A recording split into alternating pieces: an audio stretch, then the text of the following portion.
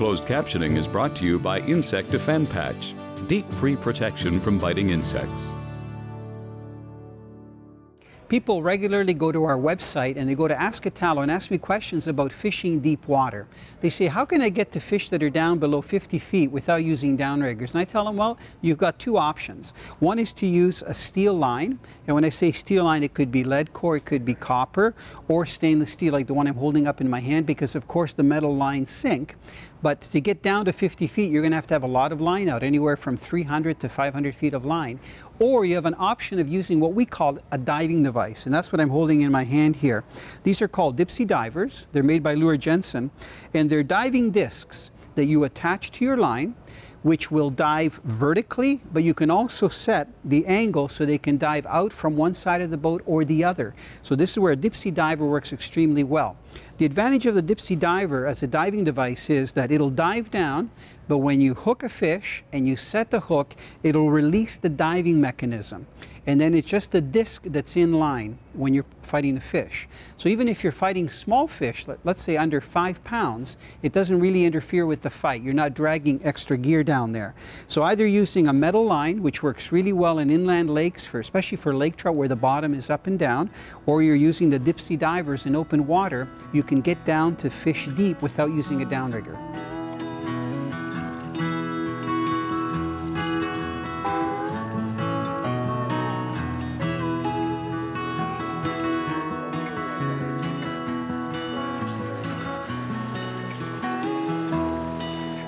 Here at Kesagami Lodge, most of the people come for pike, but there's so many walleye that you can catch them all day long, literally anywhere in the lake. Now, you don't really need to bring heavy-duty walleye fishing rods and reels. What I've done on this trip, I've brought up three outfits that are very light action. The three that I'm holding up, two are spinning outfits. One is called an Avantis, one is an F2, that's for Finesse 2, two-piece, and the other one is technique-specific, two-piece. And all of these are light line rated. This one is a two to six pound test outfit. This is a two to eight pound test, and this is a medium action bait caster. But the one thing that they all have in common is that they're two-piece, so you can see right here. And that makes them ideal when you're going on a fly-in trip. Now you also notice that they're all cork grip handles and they're called split grip. So not all the handle is cork. You can see that there's some blank exposed on all three of them. This makes them a little bit lighter and very sensitive, so you can actually feel those fish a lot better. And all three are loaded with a very light titanium braid. These two reels have the blue line, which is the ice fishing line, and I like using it because it's such a low diameter. So I'm holding up the line right here. You can see that this particular line is six pound test, but it only has one pound test monofilament diameter.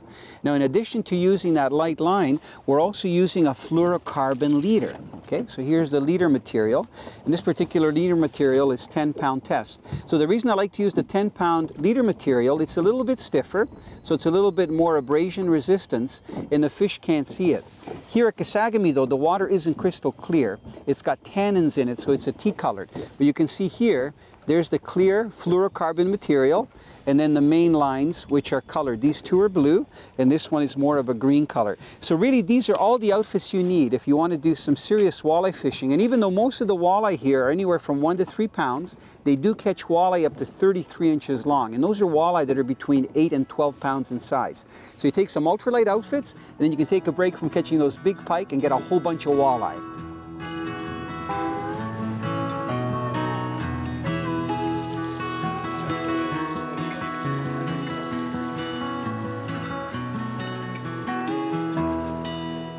You know what's crazy here? It's at the bill.